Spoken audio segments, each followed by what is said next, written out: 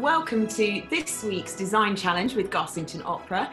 We are going to be looking at A Midsummer Night's Dream by Benjamin Britten, and it's based on the Shakespeare play A Midsummer Night's Dream. Now, I want you to think love, enchantment, and then this is potion that can make, if it's given to somebody, it can make you fall in love with the first person that you see. And I've got a photograph here of the resources that you're going to need for this week's design challenge. So you're going to need some coloured pencils scissors, uh, an eraser, some glue, a pencil, some Blu tack, several sheets of A4 plain paper and a selection of flowers and leaves this week for the design challenge. So uh, I wonder what's in store there now. I told you that there's a special potion and one of the characters in this piece, Tatiana, wakes up and she sees before her a donkey and she falls immediately in love with the donkey. And we're going to meet that donkey in Monday Motivation on Monday. His name is Bottom, so you can look forward to that. And I'm going to show you a picture that might get us in the mood for our design challenge this week. You can see the kind of world that we're looking at there, can't you? Now, we are going to look in particular at the characters of Puck, Moth, Mustard Seed, and Cobweb. And I've got an image here to show you of those characters now, I don't think this is the easiest design challenge because obviously humans play these characters. So I am going to give over this challenge to the wonderful and brilliant Rhiannon Newman Brown. Hi, Karen. Yes, this is a lovely design challenge this week. Um, it is a gorgeous world of Midsummer Night's Dream. We're in a forest, it's very magical and enchanted. And as you just introduced us, to these wonderful little kind of woodland sprites that do all the bidding of the king and queen of the fairies, Titania and Oberon, who uh, get up to all sorts of mischief in this story. So, this week, what we're going to do is we're going to create costume drawings for these uh, little woodland sprites.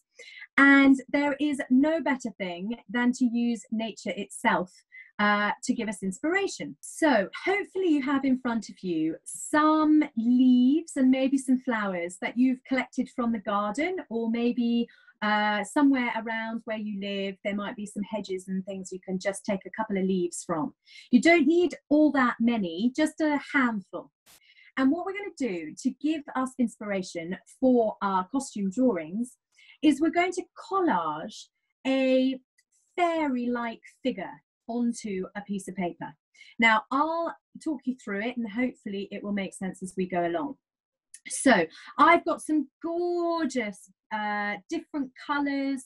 There are some leaves here that have the most amazing colours in them uh, greens and reds, and then almost sort of pale, pale yellows.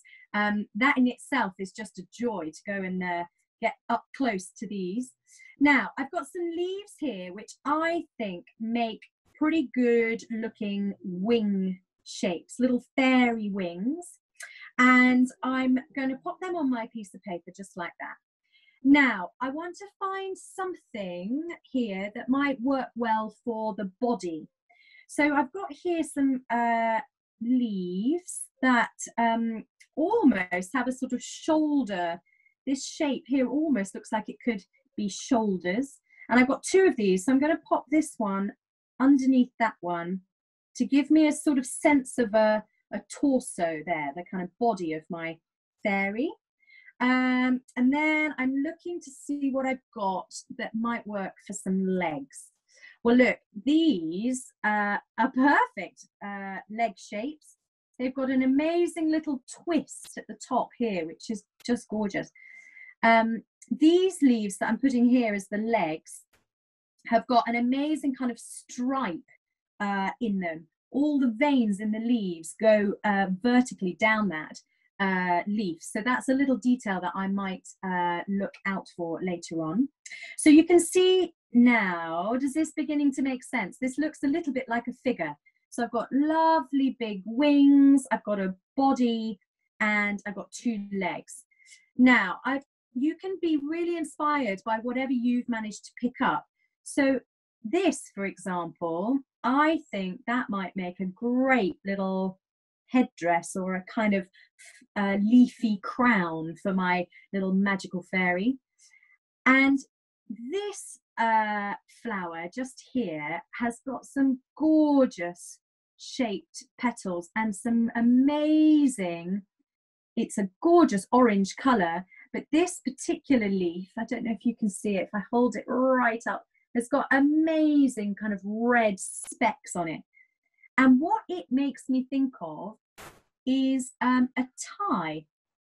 It's like um, if you worked in an office, how you might wear a tie. And so I'm going to put that leaf, that gorgeous leaf, right in the middle there, as though it's a little smart tie. And then these really make me think of shoes. So I'm going to just pop these down here to give my little fairy, my fairy collage, some shoes. So that's the first step. That's what we want to do first of all, is to just have a play around with um, the leaves and the petals that you've got. And don't be afraid to maybe take the scissors and uh, snip things. For example, this leaf that I picked is um, amazing. If I just got in there and snipped that, um, that would make some really interesting um, shaped wings perhaps for uh, another character. So uh, have a go at creating your collage. And then once you're really happy with it, then you can get your trusty Blu Tack. Or if you don't have any Blu Tack, you could use some Pritt Stick. And in order that this doesn't sort of blow away if you sneezed on it by mistake, we just need to um, Blu Tack these uh, onto the piece of paper, just so that since you've put all that effort into making it look so lovely, it doesn't all float away. So I'm just going to go underneath each piece here and put a little bit of Blu Tack uh, to hold it in place. It's interesting to see you do that. I'm, I'm in love with the shoes. I want some of those shoes like that. Is this something? Because it's, it, I can see how it's forming a real character there. Is this something you would honestly do if you were designing a costume for a character in this piece? What I would do is I would always try and look for some specific reference so that I'm not just sort of making it up from my head uh, because I can't always keep all uh, you know all the best and most relevant information in my head. So the best thing to do when designing something really is to look for some reference be that uh, from nature like this or you might want to look um, you know in lovely books and find reference pictures uh, to whatever's relevant for what you're designing. Um, so this is a lovely excuse to um, play around with um, some stuff from the garden as our reference. So this is my collage that is a brilliant bit of reference for what is going to become a costume drawing. But if I gave this uh, collage or even a photograph of this collage to a costume maker, they would find it quite difficult to make this into actual clothes because it's not particularly clear how this goes on the body. So I've got a couple of other lovely reference pictures to show you. Now, these are um, Flower Fairy uh, illustrations. I grew up reading these books when I was little and I absolutely love them. But you can see here how the flower itself has really inspired how that has become a costume. You can see the sort of petal edge to the cuff of that lovely billowy shirt and the colors are absolutely gorgeous. And even that little hat look you can totally see where the flower where the original nature inspired how that has become an actual costume. And i got one other picture here i can show you. Again totally lovely illustration. You can see the leafy edge to that hat and so that's the kind of detail now we've got to do to take our brilliant inspirational collage and create an actual costume drawing. So the first thing we're going to do, I'm going to give us a little cheats way to draw a figure. Some of you might be really happy to draw a figure, but other people find it quite tricky. So I'm going to give you a little toolkit here. So take your piece of paper and you're going to fold it in half down the middle, long ways, like that. And then I want you to fold it into thirds.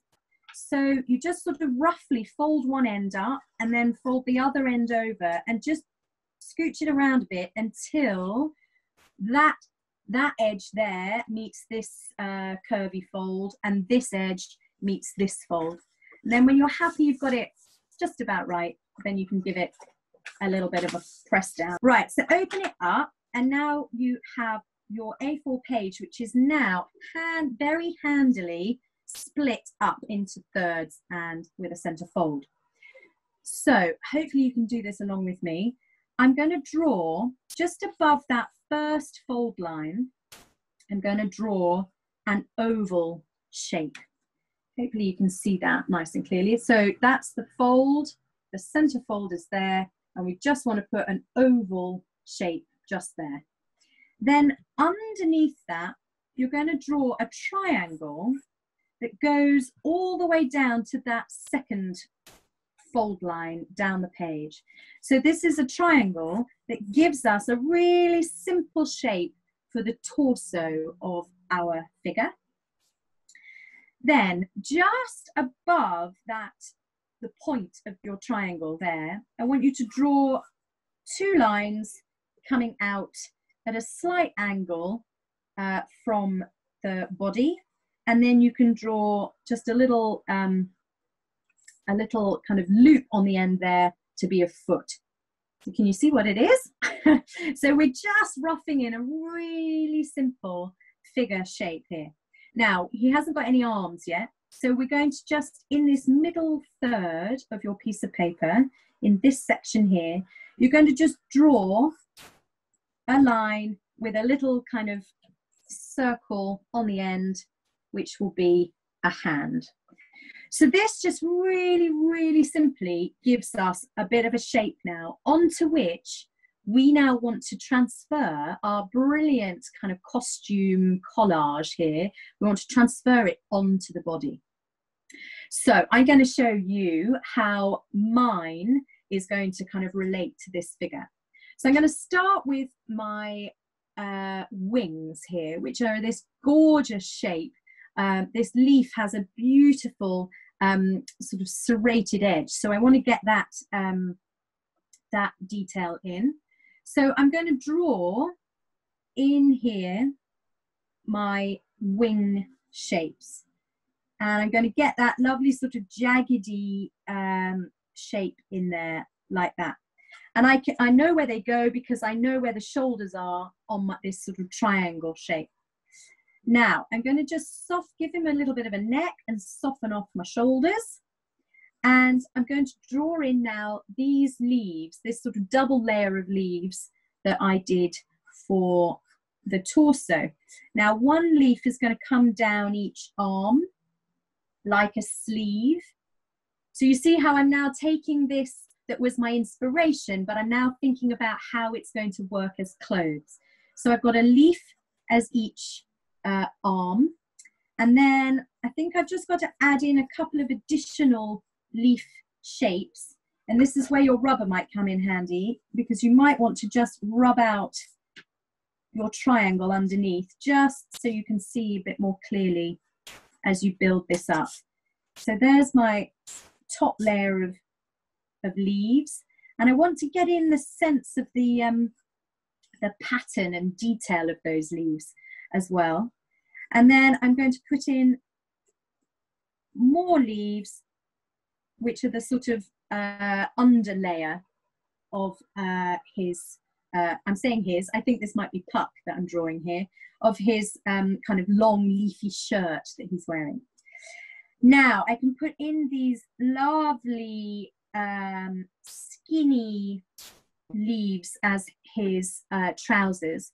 Now, if you remember, there was a really nice detail on these leaves, which I pointed out before, which these particular leaves have lovely stripes on them. So I'm going to add in very close together little stripes. Now, I've got my gorgeous uh, shoes here, which Karen liked so much. Um, and I'm going to just try and copy the shape of those petals, which have slight little um, peaks on, on the toes, so that he's got little kind of elf-like um, shoes on there. And then finally, I've got to um, pop this lovely kind of leafy, very pale yellow leafy headdress on. And it's got a little bit of a sort of central darker point, which could be just at the top of the head. So here is my drawing from my collage. And what I haven't put in here is a lovely detail in the leaves.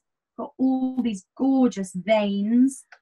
Uh, but we can, you can keep working on this and make sure you go back to your collage because there's lots of lovely information in there. So you don't have to make it up. You can really, really focus and get all your information from your collage. Now, once you've got this far, we can now start looking at adding in some color. So, oh, I tell you something that I forgot. In moving, in sticking on my uh, uh, leaves, I forgot to put on my lovely orange tie. I'm just going to put that in there as well because that's a lovely bit of colour. So I'm going to take my crayons now and I'm going to start adding in some of these gorgeous colours straight from nature. And what's brilliant is I can even match my crayon to the actual leaf in front of me. Now I'm going to put on some of these lovely specks of burgundy that are on my leaves.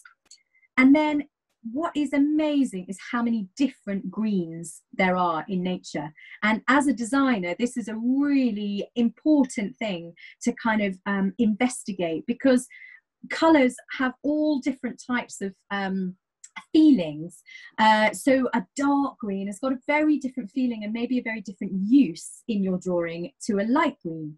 So really pay attention to the different colours uh, that you've got.